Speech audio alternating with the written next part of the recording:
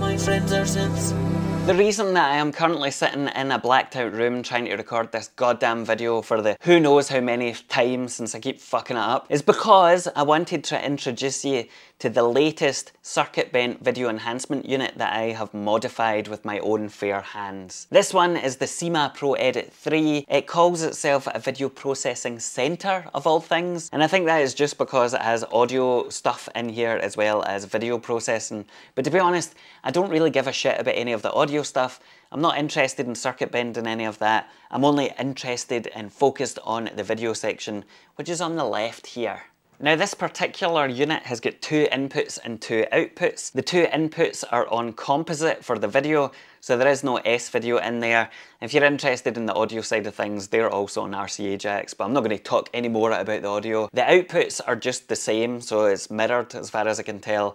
It's not like multiple switchable outputs or anything like that. Eh, it's far too simple for that kind of thing. Now this is quite a plasticky old beast, but the one I got is really nice. It came with the original box, it came with the original power supply, and even with the manual, which I um, have not bothered to read, partly because I didn't want to feel bad when I destroyed it. Anyway, I'm going to talk you through some of the stuff that this does and uh, what I've done to it, partly because I'm trying to convince you to buy it, because I have realised that as I've been circuit bending more and more of these things, they've kind of been building up, and I don't really need to have, you know, 25 of these lying around the house. They all do similar things, and part of the joy for me is just seeing what I can do with them. So if you are interested, there'll be a link below, and you know, if somebody else hasn't bought it, then maybe you too can have the chance to own a piece of gear that all my friends are synths has touched and not in a sexy way. Anyway, this particular unit has got a bypass button on the bottom, which is very handy. It's got an auto fade button, which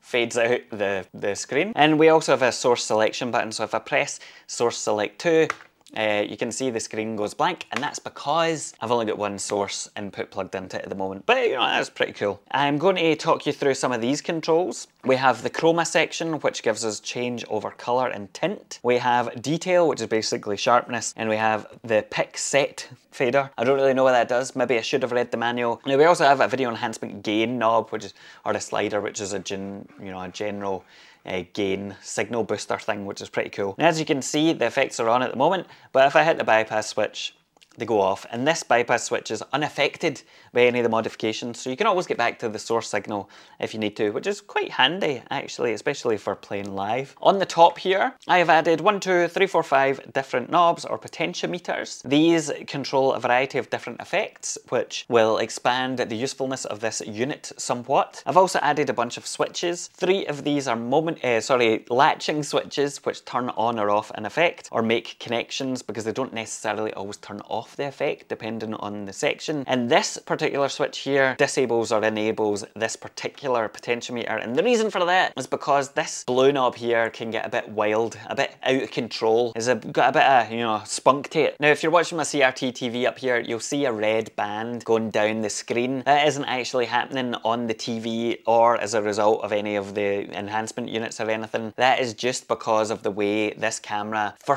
whatever fucking reason, picks up the scan refresh rate or whatever the fuck it is. I don't really know. If anybody knows how to fix that, please tell me. But just know that it'll go away. If you ignore it, it'll go away. Now I'll kind of play about with some of these knobs and switches and show you some of the effects you can get. Bear in mind that the effect you get will vary wildly depending on the input signal. So if you use something that is quite drab in colour and everything coming in, then you're not going to get some rainbow cacophony of colours coming out of it. These Sima units in particular are not known for having wild, wild, crazy effects in the world of video enhancement units, but they are, they do have some useful and unique effects, I would say. So uh, I'll show you some of them. Anyway, these first two knobs are fairly vanilla. They kind of just, you know, play about with contrast and color, which tends to be a common feature of this unit. Now, if I start to engage these switches, that's where things get really interesting because this will invert the signal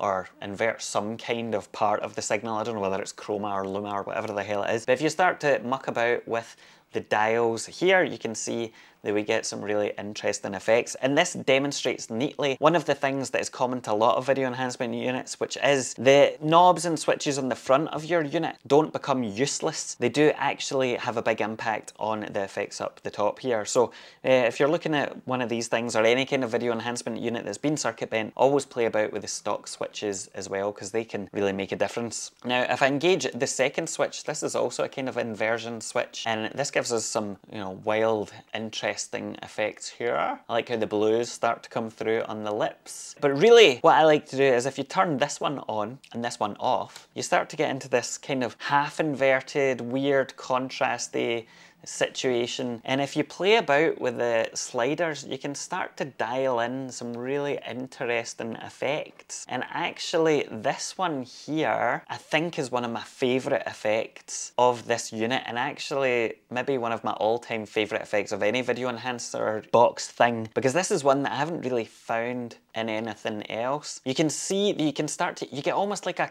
a cross-processed like bleach bypass look if you're familiar with those terms from the world of photography. It's almost like a uh, like a, a pop poppy, I don't know, fucking what do you call it? Andy Warhol style saturated look with the lips here and then going into that kind of cyberpunk, steampunk, I don't know, I'm just saying words now, but you get the idea, it looks cool as fuck, and hopefully I'll be able to record a bit of this after so you can see it, not just with my face in the background, but if we turn off, or turn on the bypass I guess I should say, you can see just how different it looks from the original. It's kind of high contrast, very detailed, and I think looks pretty fucking cool. Now, if I start to mess about with some of the other things, I'll come back to the blue one in a minute, because that's their wildcard, you can see that that switch really ups the kind of bleach bypass look and you can start to get into some really wild territory with inversions. The blues start to muck about with the colour palette and pretty interesting. You start to get kind of like a dirty filter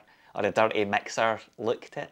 Of course, playing about with all of these, you get some really interesting, horrifying, but, oh, look at that. I've not seen that before. Yeah.